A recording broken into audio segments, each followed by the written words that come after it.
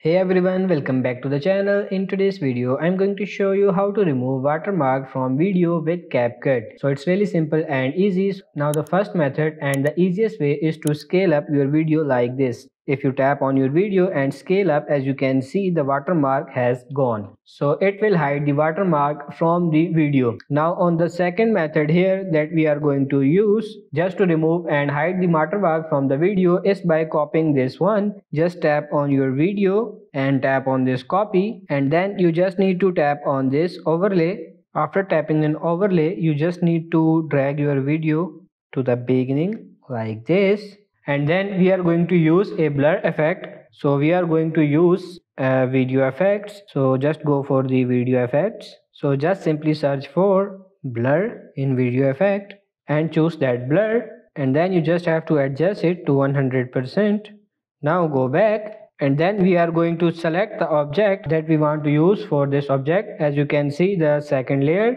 And now secondly we are going to use the mask now I am going to use the mask option right here at the bottom. And you just have to select this second layer.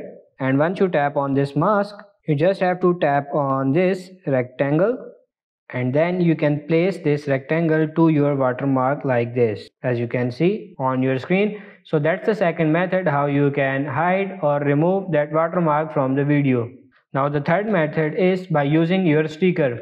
So if you have your own stickers right here as you can see you can simply use it like this. You can just put it there a pre-watermark so we can hide that watermark from that video. So these are the three methods to hide the watermark on your video. I hope this video was helpful. If it is like it and subscribe to the channel. Thank you